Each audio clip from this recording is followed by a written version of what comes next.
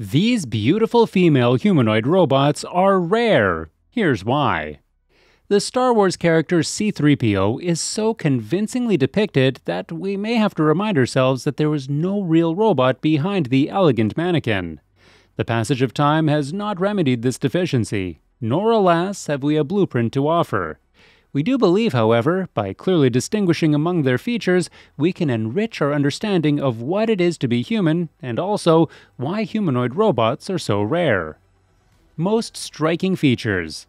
Perhaps the most striking feature of C3PO is that it's so smart. It? Yes, but don't think we weren't tempted to say he. We'll return to this temptation. Why do we think of it as smart? We see it confronted with complex situations that no one could have anticipated, and we observe it doing things and saying things that are appropriate to those situations. We will also want to insist that whatever enables our robot to act appropriately in unexpected circumstances be entirely on board, that is, encased within its titanium skin. Otherwise, it won't be humanoid. Our intelligence is something we get from what goes on within us, if we were to get detailed instructions about what to say or do via, say, a cell phone conversation, our actions would show the intelligence of the person we talk to, not our own. Our real C3PO could look up information just as we do, but the processes that connect that information to its actions must be internal to it. Our real C3PO will need to have little microphones, cameras, chemical analyzers, and parts of its skin that can bend enough to detect differences in pressure. Handle with care. Robots' detectors are often called sensors, but here we must be careful. That does not mean that we could never build a robot that has sensations, it shows only that the project of building a robot with sensations is different from the project of building a robot with detectors. If we did want to build a robot with real sensations, how should we proceed? When most people are asked the question, they often respond with, Why would anyone want to do that? That's a good question that reflects an understanding that robots, as we usually think of them, don't feel anything, and so can't suffer. That's why we think they're ideal for jobs that would be dangerous to people, like fixing damaged nuclear facilities. But suppose we are perverse philosophers and want to make a robot that has real sensations just to show we could do it. What should we do? The usual method of producing something is to find out what causes it, and then to bring it about by producing its cause. So, our best shot at producing real sensations in a robot would be to reproduce, in the robot's electronic parts, the same patterns of activity that take place in our neurons when we have sensations. Such a project would undoubtedly be very expensive, so let us now suppose that in a first generation of humanoid robots, we forego it and settle for a robot that has no sensations. It does, however, have excellent detectors, and the electronic connections between its detectors, its inner processors, and its motors enable it to do what C3PO does in Star Wars. A question that is now likely to arise is this When it speaks, does it understand what it's saying? Obviously not. In some cases, the answer seems to be obviously not, namely, cases where it uses sensation words. So, for example, if C3PO says, Take the morphine to the sick bay, Luke is in terrible pain, we may doubt that it understands pain. If it can't feel, it has never felt a pain, and so doesn't fully understand what that word means. At best, it knows that pain, whatever that is, is something people go to great lengths to avoid. But the C3PO of Star Wars is not like that. It utters its words appropriately.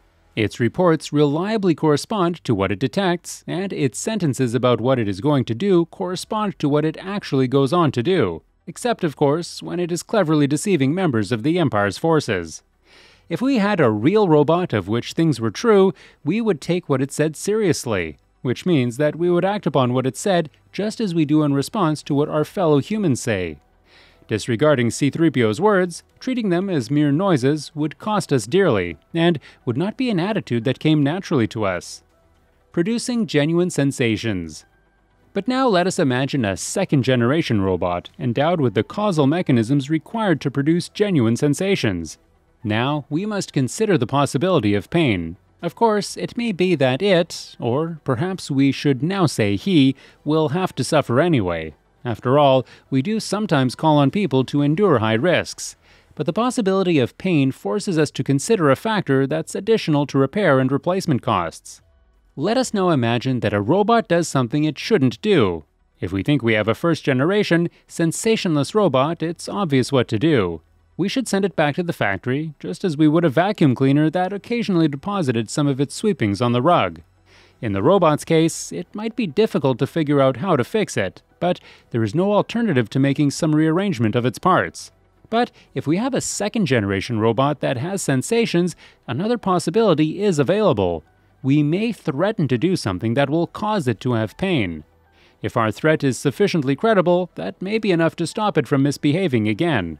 And threatening may be better than sending it back to the factory, because we may not know how to rearrange its parts so that it stops misbehaving while retaining all the abilities that made it useful to begin with.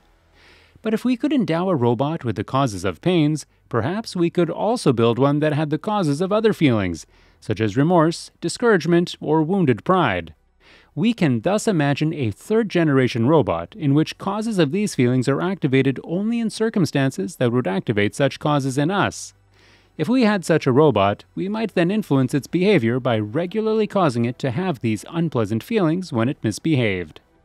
A New World now, imagine that you have lived in a world with many third generation robots, and have become quite accustomed to these more subtle kinds of interactions with them.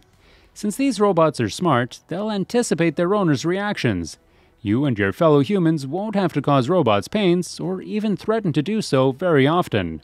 Most of the time, you'll just react to good and bad behavior with smiles and frowns, and most of the time, things will go reasonably well. If you can imagine such a world, you can imagine a world in which people treat the third generation robots just like they treat human beings. If robots seriously misbehaved, you'd get angry at them. Why do we think so? Who has not kicked or swatted a car or vacuum cleaner that was not working right? We chide ourselves, of course. The kick can't be felt, and if it changes how the machine works, it will likely not be for the better. But if we kicked a third generation robot, avoiding its head, we might not be behaving irrationally in either of these ways. The world we've just asked you to imagine is more than a world in which we treat third generation robots in a certain way. It is a world in which it would seem quite natural and proper to do so. The consequence we are willing to draw is that third generation robots have everything that's needed to properly ground the attitudes toward them that we usually have to our fellow human beings. But where the entire discussion falls flat is the fact that this entire process of getting to third generation robots is quite lengthy, demanding, and comes with its own set of pros and cons. Which is why, although in existence, humanoids remain to be far and few and can appropriately be deemed rare, at least the ones worth going through all the trouble for. But it surely seems we're in for an exciting future. That's all for this video, folks. See you another time.